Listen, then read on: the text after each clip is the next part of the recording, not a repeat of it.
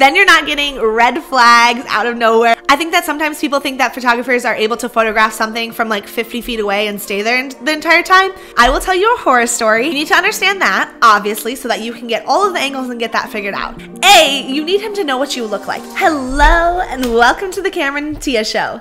Today, I am breaking down how to photograph a proposal. Now, you've just been asked to photograph a proposal or you want to get into that market. It's something that is so fun. Like, imagine all of the joy surrounding it.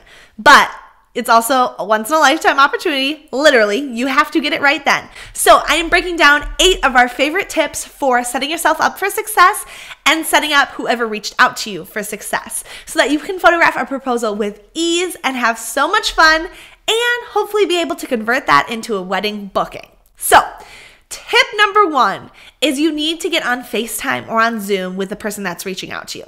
In this case, let's just say that his name is Dan. We need to communicate directly with Dan, and there's only so much that can be done over email or over text likely Dan is typically not the planner point person.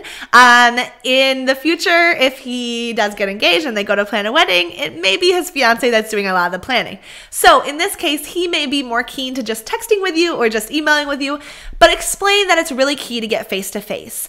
A, you need him to know what you look like. And he may have just gotten this referral from somebody and not have that under like that knowledge. And it's really key. But also, most importantly, it's going to be so much easier to be able to chat through things with him over video where you can see his reaction to things and you can start to understand what his vision is and what he wants to happen here. Okay, number two, on that FaceTime call, I want you to learn about his vision, learn about the location, and find out what level of privacy he's comfortable with. So, first, his vision, um, it may be extravagant. He may have a lot of things planned with roses or popping champagne or anything like that, or it may be, just be him getting down on one knee proposing there.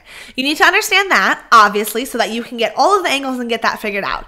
Second, he's going to likely be more familiar with the location than you are. So, get all of those details and get really specific about it.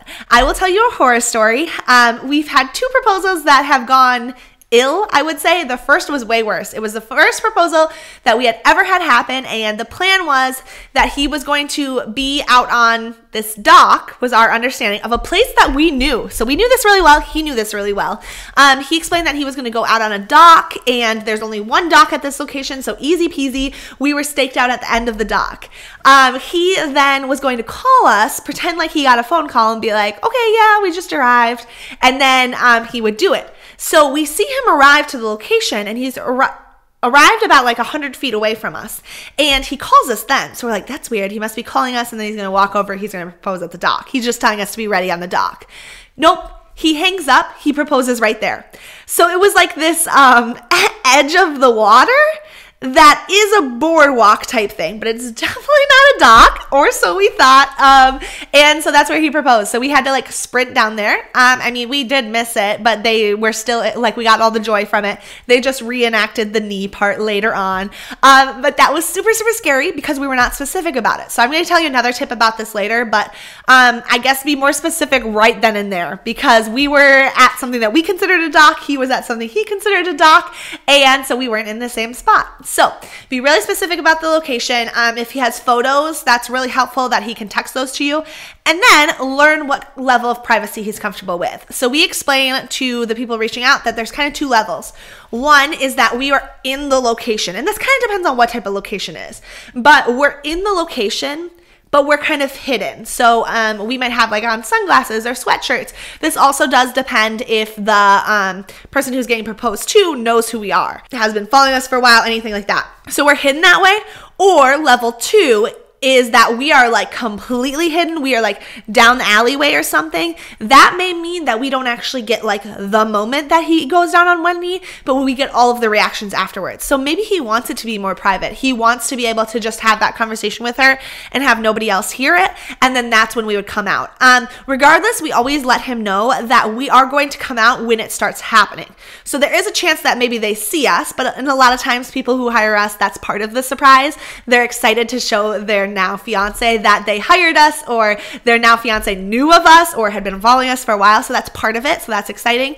Um, but we want to make sure that's clear. I think that sometimes people think that photographers are able to photograph something from like 50 feet away and stay there the entire time. I mean, we definitely could. We just wouldn't have the same level of photos. And so being really clear about expectations with that is really, really key. On the FaceTime call, make sure to explain and really get it out in the air what your package includes. It's going to be a little different for everyone, um, but sometimes I think that people think, oh, you'll be there for like two hours. Okay, perfect. That's what we're paying for. Like, uh, no. Um, you want to just be there for the moment, and obviously the moment will sometimes take a long time. Sometimes it'll be really quick, but explain how many photos it would be afterwards. So, like, we typically say that it's going to be about a half hour of photos afterwards, um, which is a quick shoot. You know, by the time like after the proposal happens, a half hour flies by. Um, but it's really important to get that out so that they know what's coming um, and so that they can kind of plan for that if that's something they want. Sometimes that's something that people don't want. They just want the actual proposal photograph and then they want to go enjoy if their family are there, if their friends are there, if they're going out to dinner, anything like that. And that's totally fine, obviously. Um, so you just want to get clear, and that's part of getting clear on the vision during the FaceTime. Okay, we tell this person, so Dan, that we're going to share our location with them and they're going to share their location with us. Um, so they we do that on the day of and then we just share it for the entire day. Um, it's not like we're creepy, like looking up where they're going to lunch or anything, but then it's nice because we know as they're getting close and we don't have to communicate with them during that time um, because that might be a red flag for the person who's getting proposed to. Um, but instead, we can see as they're getting close the whole way. So that's really, really nice if you're iPhone users, obviously, is that you can share your location for the day. Next, we tell them on the FaceTime call if we need to communicate with them via text in the future, which is probably likely. Like, we're gonna look up the location afterwards, we're gonna put together a plan, and then we're gonna be like, hey, I saw this weird kind of hill here. Is that what you're thinking? That kind of thing.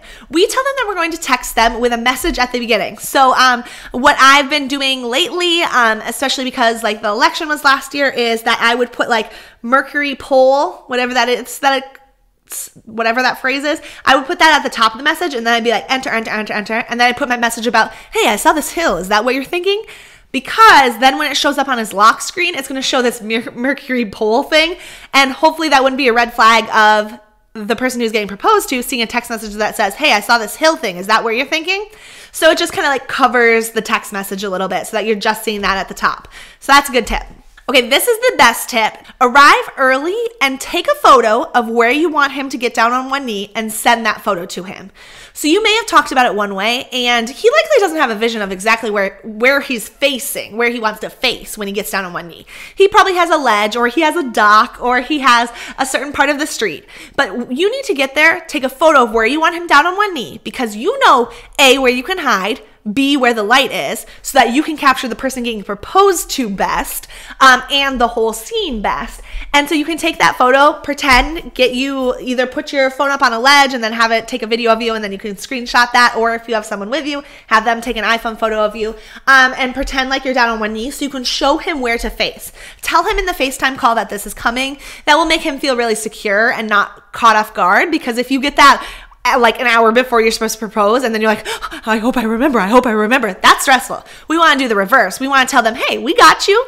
We're going to send you a text message on the day of showing you exactly where to get down on one knee. If you just face that way and have that general vicinity that is perfect. Then you're not getting red flags out of nowhere where they're facing a totally different way. Okay, then I want you to take some photos of setting the scene. So before they arrive, take some photos of the street. Take some photos of the vista. Um, those kind of things are great for two reasons. Number one, this probably has some sort of significance to the couple. Um, in most cases, it's going to have a lot of significance to the couple. It's going to be a place where they had a first date, where they met, a hike that they really loved, a vacation that they really loved. It's going to have a lot of significance. But even on the like worst case that it doesn't have a ton, a ton of significance, um, it's setting the scene for the second reason why I think it's important they want to know everything leading up to it. The person who gets proposed to, you, some of the first conversations that they're going to have is, Oh my gosh, did my mom know? Wow, how did you plan this? Dang, how did you hire the photographer? There's just this allure of a surprise of how did this surprise come together? And so one of the things is about having setting the scene photos in your gallery that's really awesome is that it shows like what the scene looks like before they arrived, which seems very simple, but it's very exciting for them because it's like, Oh my gosh, look at this street. And we arrived two minutes later and then I got engaged. Like, how cool is that? So those are just really fun photos to include in the gallery. Um, obviously, you're going to be testing lighting like crazy. Um, I feel like anytime that a proposal comes, you know, we're watching them on our sharing our location, and so we're watching them get closer and closer, and we're like, oh, the lighting's changing. Oh my gosh, it's changing because you just want to have your settings right. So um, you'll probably have those photos anyways, but intentionally take them. Okay, last point is make sure you know the must have shots. So, time is gonna go really fast. People will react differently, and sometimes they'll just be in shock, and you'll have to kind of like ease them into photos, and that's totally fine, obviously. Um, but you wanna make sure that you know kind of some must have shots that are postable. In most cases, people are looking for photos ASAP, so if you can get a big chunk of previews out to them, as soon as possible, like I'm talking that night because they probably want to announce, um, they are looking for the most postable images. So there's kind of two things. I think you need some uh, classic photos. You need, actually, there's three things. You need some classic photos because they want just smiley photos. You need some freaking excited photos, like joyful, like, oh my God, jumping, that kind of vibe. And then you need some ring details. So think about those kind of three buckets. And so for classic photos, we always do like a chest to chest. We'll do something else classic, like a prom pose, some normal things where they're smiling some normal variations like a nuzzle, a forehead kiss, because they might want something like that that's classic to share. Especially parents might want something like that that's just smiling at the camera, classic photo for grandma on the fridge. Second bucket is super joyful. Um, this includes lifts. This includes hands out. This includes hands in the air. This includes jumping. This includes like bear attack hugs. Um, something that are crazy joyful because that's the emotion. Popping champagne if they have it. Um, a lot of lifts make a lot of sense for this. Um, because they want to post something epic, they probably have a caption that is about being super excited and stuff. So that makes sense in that way. And then the third bucket is things with rings. So same thing, ring popped out, ring on the chest, ring holding hands, ring on the back of the neck. Um, you just want a couple of those because the ring might be super significant to them, or they could care less. But regardless, it's an announcement, and so the announcement sometimes makes sense to have a ring at the beginning of it to show off a ring, to be really excited about the ring. Um, we don't typically do ring detail shots at this time. I think that's something that makes more sense for an engagement session, um, where they'll want to pair that with like their engagement session outfits for maybe a guest book or something.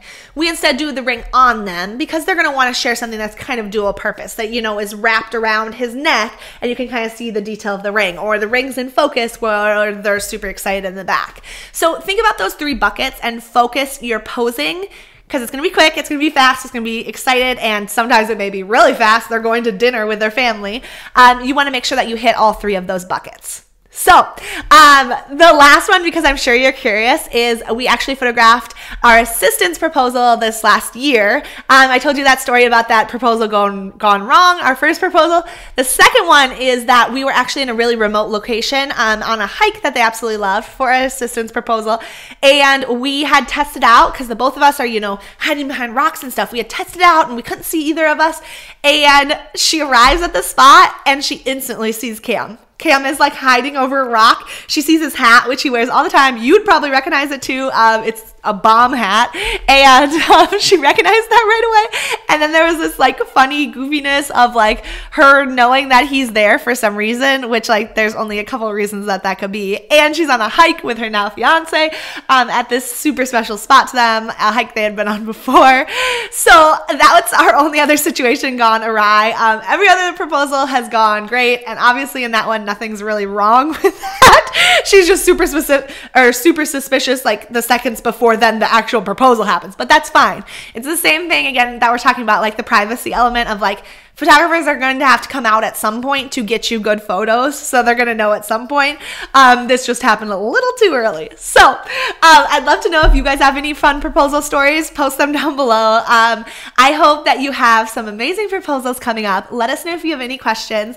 Otherwise, if you like videos like this with photography tips, be sure to subscribe, turn on the notification bell so that you can get notified every time we post a new video. And until next time, bye.